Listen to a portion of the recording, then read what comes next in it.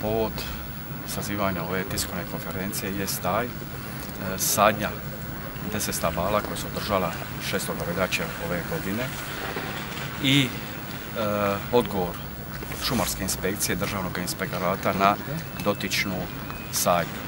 Kao što znate, bila je anonimna prijava da se odvijala ilegalna sadnja.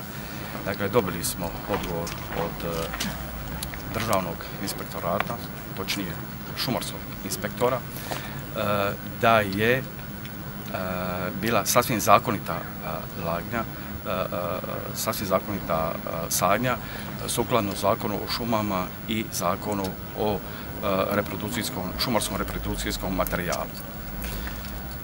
Dakle, sve ovo što se odvijalo je sukladno svim pozitivnim pravnim propisima Republike Hrvatske.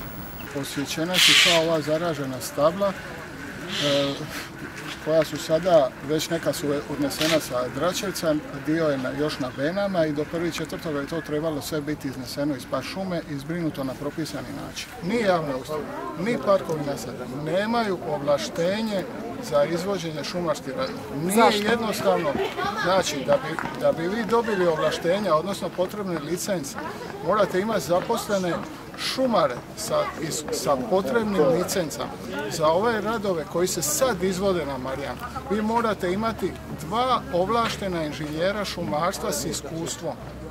To je minimum minimum. Plus morate imati sjekače, morate imati mehanizaciju. Na toj mehanizaciji neko mora raditi. Znači ako ćete vi recimo kupiti on najjednostavnije, kad posjećate stablo, to stablo treba dovući do puta. Čime ćete ga dovući? Treba imati neki stroj ili žičaru ili traktor. Taj ko radi na tom stroju, trebate imati tog čovjeka. Znači treba zaposliti čovjeka koji će raditi na tom stroju.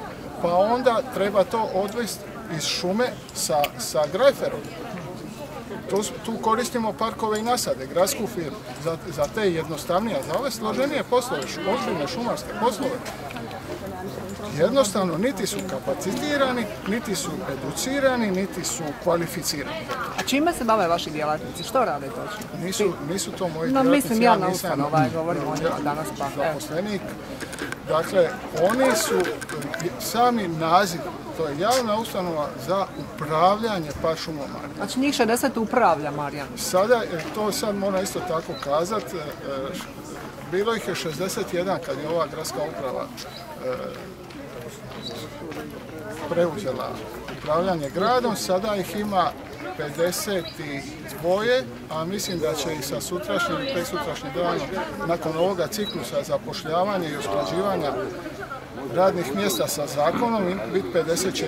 Znači to ih je sedam manje nego što ih je bilo. Dakle, osobno ja sam rekao Tomu Tučiću, to u četvrtak kad se pripremalo, ali moram kazati da je to bilo, bilo je pitanje hoće li biti, neće li biti, hoćemo li to napraviti u probnu sadnju. Ali osobno ja sam to rekao. Mhm, dobro. Sad on može tvrditi da nije, čuvaru ja sam, čuvaru prirode je ravnatelj. Dobro. Tako da to su, ne znam šta bi rekao.